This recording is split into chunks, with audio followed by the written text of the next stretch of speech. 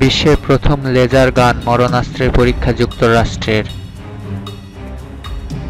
বিশ্বের প্রথম পরাশক্তি হিসেবে লেজার গানের সফল পরীক্ষা করেছে মার্কিন নৌবাহিনী। এই লেজার গান দিয়ে ড্রোন সহ শত্রুপক্ষের লক্ষ্যবস্তুকে চোখের পলকে ধ্বংস করা যাবে বলে জানিয়েছেন মার্কিন প্রতিরক্ষা অধিদপ্তর পেন্টাগন। মার্কিন গণমাধ্যম সিএনএন জানায় লেজার উইপন সিস্টেম নামের অস্ত্রটি সম্প্রতি পরীক্ষা করা হয়েছে। উভচর পরিবহন জাহাজ ইউএসএস পনন্স থেকে এই অস্ত্র দিয়ে কল্পিত শত্রুর ডন লক্ষ্য করে আক্রমণ চালানো হয়েছিল। অস্ত্রটি থেকে প্রবল শক্তি নির্গত হয়ে লক্ষ্যবস্তুতে আঘাত করে। এতে ড্রোনের পাখায় আগুন ধরে যায় এবং মুহূর্তের মধ্যে ধ্বংস হয়ে যায়।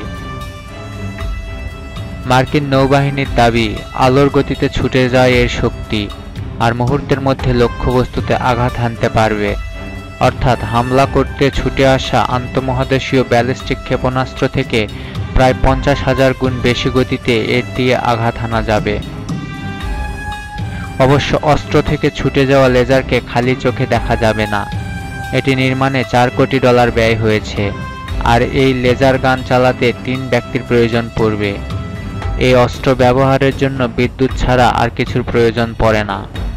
প্রয়োজনীয় বিদ্যুৎ যন্ত্রটির জেনারেটর থেকেই উৎপন্ন হয়।